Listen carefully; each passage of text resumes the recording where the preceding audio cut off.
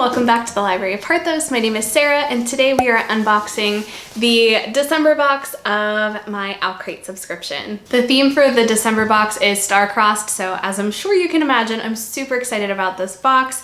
Um, I have the little um, unboxing guide right here, so let's go ahead and dive in and see what comes in December's box. Okay, first up we have Oh my gosh, salt and pepper shakers, how cute is that? So these are, I believe, from Serpent and Dove, which I am familiar with. I've not read the books, but I do know a little bit more about this fandom. So these are super cute.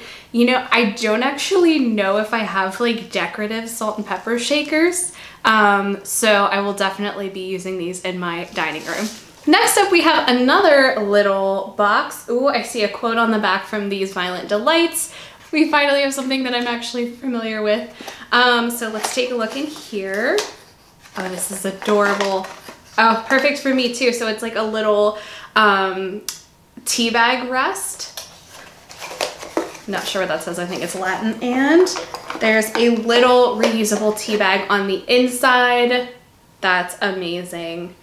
I'm curious how well this is going to work. Typically, so I just use like um, like disposable tea bags um, because I don't have a lot of luck with like the uh, diffusers. Typically it just leaks out into the tea and I'm not a fan of that. So I'm interested to see if I'll have the same issue with this or if it will work a little bit better. Okay, next up we have what looks to be a bag inside of a bag.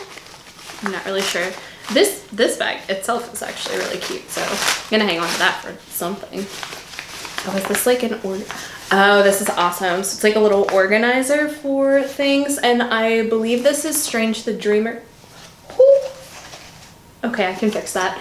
Um, anyway, it's like a little organizer. So this might be great for like jewelry or um, maybe some stationery. So I'm not sure where I'm gonna use this, maybe in my office, but I'll definitely find a place for it. Okay, next up we have this bookmark set. I believe one of these is from Daughter of Smoke and Bone, and one of them is from An Ember in the Ashes, if I'm remembering correctly from what I just saw on the unboxing guide. Um, the artwork on these is beautiful. Can never have too many bookmarks in my opinion. Next up, we have this very Regency style bag. I believe this is a quote from Bridgerton.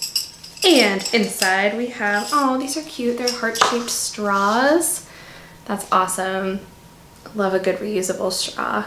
And up next we have the very last literary luggage pin. This one I definitely recognize. This is from Outlander, so I'm super excited to finish my collection of literary luggage pins. I'm kind of sad that this is the end, but the pins, the new collection of pins that is going to be starting is amazing. So I'm very excited about those too.